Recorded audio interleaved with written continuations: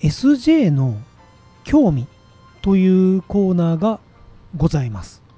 こちらどのタイプがうん。何に興味を持っているのかうん。っていう話に移りたいと思います、はい。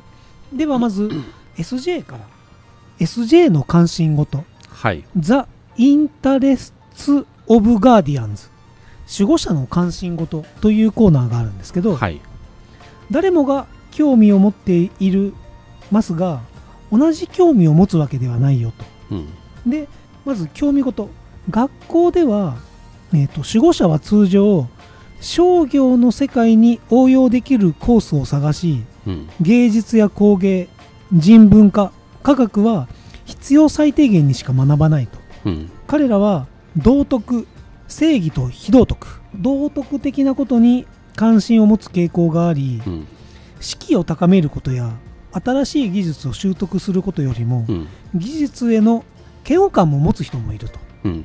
このガーディアンは装備人員または複雑なシステムよりも、まあ、資材マテリアルと一緒に作業するのが得意だなんていうことがはい。っていうので隊長ちなみにこれを見ますとですね、はい。えっと、SJ が興味を持っているのは商業。はい。 education の分野では商業だと。はい。で悩みとしてははい。道徳うん。の分野で興味を持っている、うん。で vocation 職業はい。の分野では材料っていうのがあってはい。隊長 Artisan のところを見ると,、はい。えーと artifact 技術工芸はい。で悩み SJ が道徳なところをはい。隊長は技巧だと。はい。テクニック。はい。で職業としてはそういう使いこなすはい。みたいなところにあって、はい。で NF 理想主義者のところを見ると人文学、はい。ヒューマニティーズ、はいはいはい。人だと。うん。で道徳技巧ときて彼ら、NF は士気だと。はいはい。人の気持ちだと。はい。やる気。やる気。はい。でどこにつくか。人材だと、うん。もう人べったりなんですね。はい。でもなんとなくそれはうんなるほどなって僕は思うところがはある、いはいはい。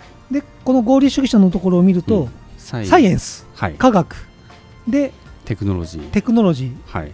まあ、技術、はい。まあ、テクニックも技術だがはい。技巧と技術って感じですよね。技術って感じですね。この手の技術みたいな。こっちが手の技術ですね。こっちが手の技術。はい。はい、でとシステムだと。っはい。ていうのを見るだけでも、うん。なんかあーっていうのがはい分かってくるのかななんて感じますけども、うん。いかがでしょうか？はい。はい。でまずは educational interest in commerce 商業に対する教育的な教育的な興味という章があって商業の世界は社会が商品とサービスを評価し交換する場所であり従って守護者にとっては自然な教育の分野ですと。うん。もちろん彼らは他の科目も学びます特に応用科学英語歴史教育など。しかし彼らは常にビジネススキルを学ぶことを実用的な利点に目を向けていると。彼の職人の息子が高校でなぜ古典を読まなければならないのかを疑問に思った時こうやって守護者は説明します。大学の入試で必要だから。はい。それだけのことだよ。個人的にはなぜかわからない。ビジネス英語を取って広告を書いたり効果的な手紙を書く方法を学んだ方がずっといいのに。うん。なるほど。職人の息子がなんで今はまあどちらかというとはい。職人の考え的にははい。え別にそれは高校卒業するために勉強に必要だからだよ。うんうん。って言われた時にこの SJ の人たちはなんでだろうってモヤモヤするってことですね。多分まあなんか本当はもう実用的なことを学んだ方が手っ取り早いのに。そっちを学びたいんじゃないですか？学びたいって思ってるってことですね、うん。ちょっと英語の訳をあのはい。簡単にあのチャット GPT とかで済ましてるのではい。遂行はしておりません。はい。はい。でもまあこうやって汲み取っております。他のタイプも商業をま学ぶことはあるがアーティザンは取引のゲームをどうやってするかを知るために合理的な人々は経済学と人間工学を学び金融市場を複雑なシステムとして理解するために学ぶと、うん。ただし理想主義者は個人的に価値を見出しにくいと言わざるを得ませんと。うん。あ商業に価値を見見出せないってことが書いてあるんですかね、はい。守護者はガーディアンは会社や法人を不可欠な社会機関とみなし彼らに生計を立て家族を支える機会を提供してくれるものとしていますと。そして守護者はビジネススクールや大学の経営学部の行列を埋めそこで会計学と経営学を学びます。法科学校でもビジネス税金保険法に特化する傾向があると。うん。で訳すと道徳に夢中っていう章があります。はい。はい、守護者は子供の頃から自分たちのグループの道徳的責任を感じますと。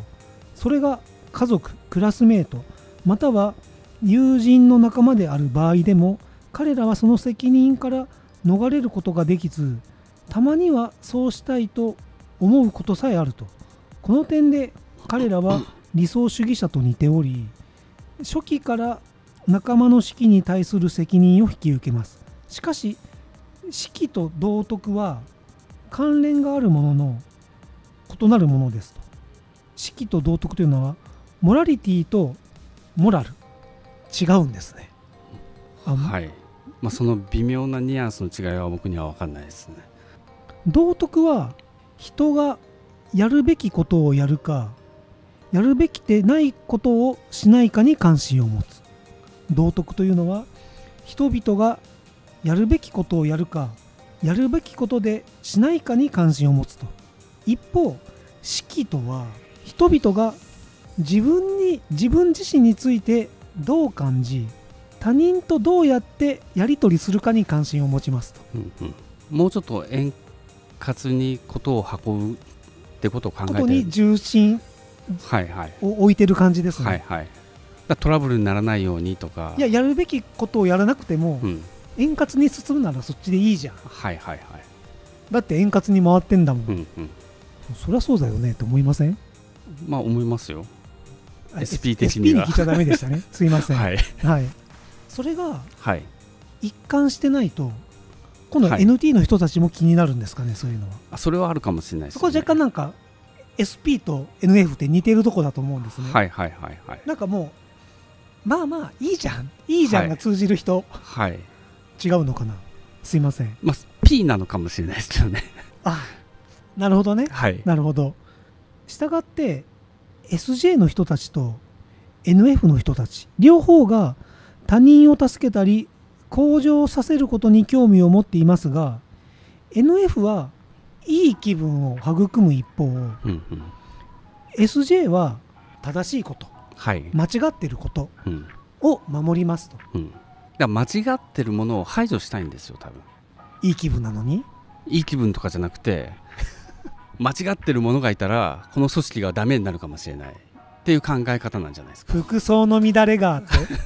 とか、まあ、差別とかもそうですよね。犯罪とか差別とかも。その微妙なルールもあるけどさああなるほどね、はい。例えば、はい。あこういう言葉ってあんま使わない方がいいのかな。例えば白人しかいないとこだったら。はいはいはいあまあそういうのもあるんじゃないですか。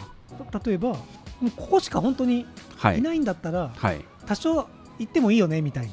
うん、差別的な発言をね。はいはいはい。だってこれでなんかみんな気分が高揚するんだもん、うんとかこう田舎の村とか新しい人が来たらうん。来るのを拒むとかはいはい。そういう感じじゃないですか。